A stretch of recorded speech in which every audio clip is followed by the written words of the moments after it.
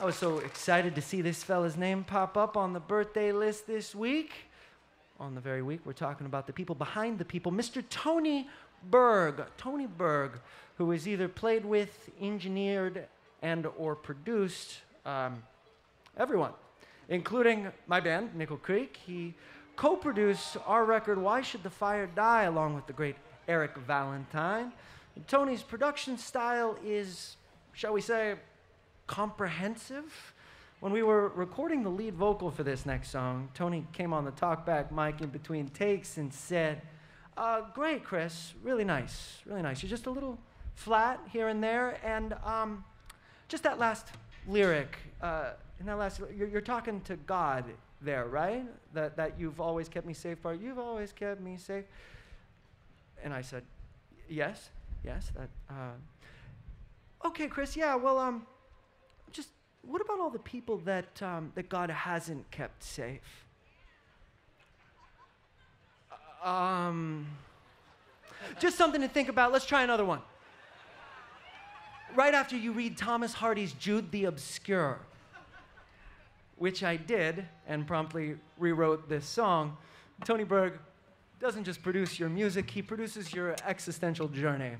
Here's Doubting Thomas.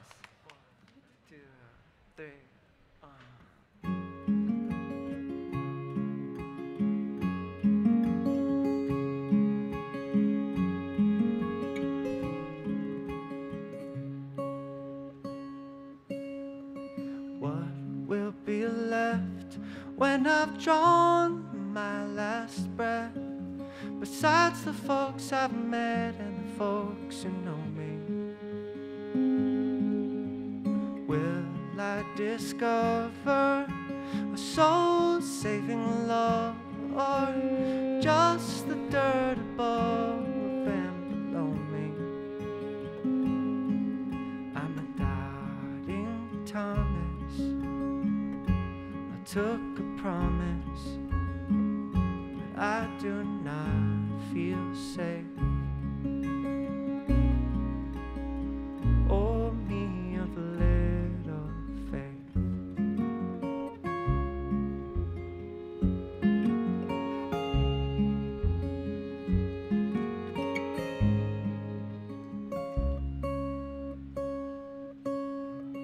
Sometimes I pray for a slap in the face, but then I beg to be spared, cause I'm a coward.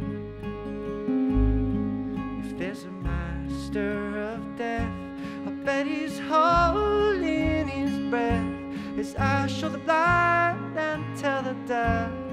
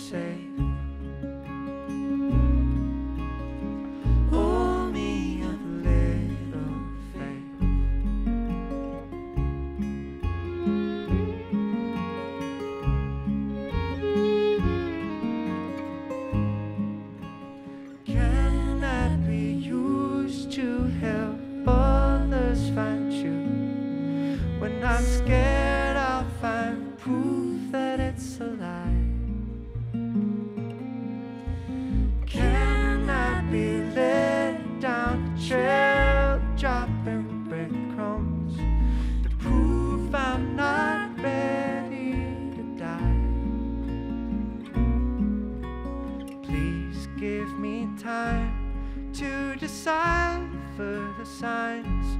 Please forgive me for time that I've wasted.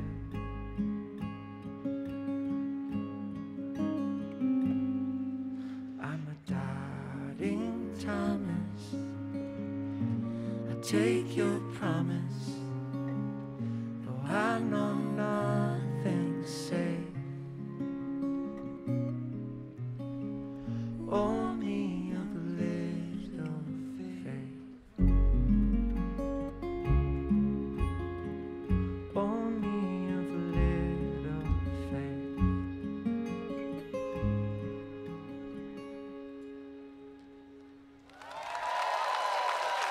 Thank you for everything, Tony Berg. And happy birthday.